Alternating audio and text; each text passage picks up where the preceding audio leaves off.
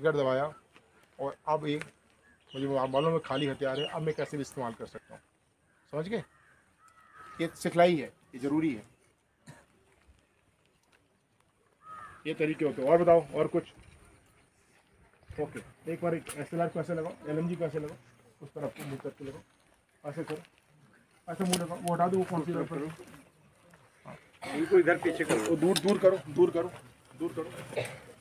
इधर के और और आगे ले जाइए इसको थोड़ा। सामने टारगेट यही आपकी वही सेम होते है। सामने टारगेट तो जो सामने टारगेट आप करते हो तो आपने वो ले लिया और कॉपी कर लिया। रेडी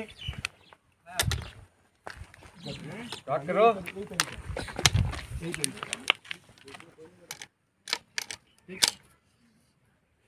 फायर अपने टाइम से पाँच राउंड फायर अब इनका काम है एम लेना और फायर करना। जब तक मैंने हुक्म नहीं है तो फायर नहीं कर सकते। ये कमांडर उनको हुक्म देगा। लेट के पोजीशन सामने टारगेट रेडी तो तैयार करेगा अपनी। चैम्बर चला चैम्बर में राउंड चला गया। अपने टाइम से, या जैसा भी है, जैसा भी हुक्म होगा five five round ten round fifteen round जो भी है। फाइव उड़ा देता हूँ लेकिन अपना डिसिप्लिन है सोल्जर उसको हुक्म नहीं मिला फायर करने का। तो उसने वो ह्यूमिलेशन सहा क्योंकि तो हमारे लोग मरे ना। तो मानना कोई आसान है? आजकल कश्मीर तो बहुत आसान है।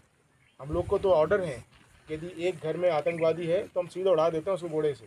कुछ घुसते नहीं